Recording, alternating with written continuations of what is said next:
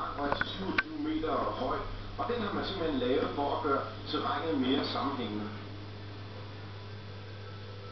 Nu har du muligheden for at vinde en skitur med TV2-været og Nordlander Skitours.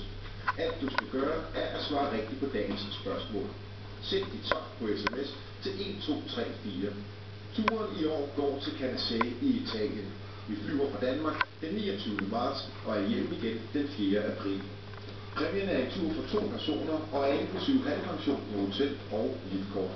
Du kan læse mere om præmien på vores hjemmeside. Held og lykke. Og vi har også trukket et vinder i denne uge. Det blev vores Vita Voldler fra Langås. som har altså vundet en rejse på to. Tillykke med det. Og så et kig på, hvordan det ser ud på de forskellige øh, destinationer. Lørdag der er det altså tør vejr på stort set alle europæiske skisportsteder. Det her lavtryk, det skal så til derimod ind over land her i øh, løbet af weekenden, og det vil sige, at der faktisk kommer en del nedbør i øh, alvorområderne søndag. Men tur til øh, Sverige, hvor vi altså stoppede det her indslag.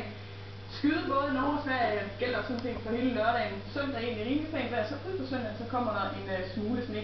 Så gider Polen, de får det til